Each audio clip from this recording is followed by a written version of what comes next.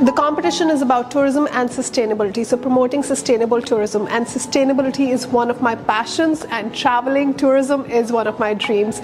I was actually speaking with Miss Canada yesterday, and she was we were talking about pageantry, and she was saying that they say that every pageant you enter, you have about three years worth of growth, and I really think I have. I've seen that. I felt that. I get to learn about many different cultures around the world, and I get to network and make amazing friendships, and also promote my amazing country of United Kingdom.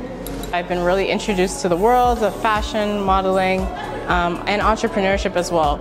It's really been super educational as well as eye-opening. It opened me to an opportunity that I didn't think I would have had. Being around international girls and learning about their cultures and also sharing and showcasing my own country, New Zealand, to them.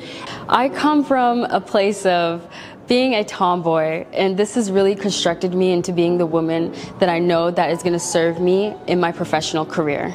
It's given me an opportunity to grow and to get out of my comfort zone in terms of speaking to people and gaining a little bit of that extra oomph of confidence. The usual me wouldn't have the confidence to do what I am doing now, but being part of Miss Tourism Commonwealth has brought up things in me that I never thought I could do. In the sense that I need to actually engage and actively be involved in the community and also to change and explore and as well as develop new ideas to better make my country a place to live and to visit.